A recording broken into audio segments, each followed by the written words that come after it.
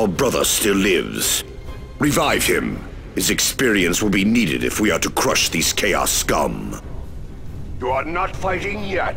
Make ready to go on anew.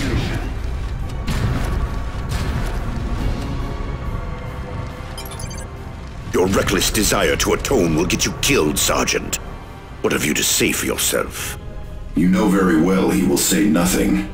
He keeps his silence in penance for deeds committed. Regardless, his armor may have been compromised. Initiating proper rites can prevent this from happening again.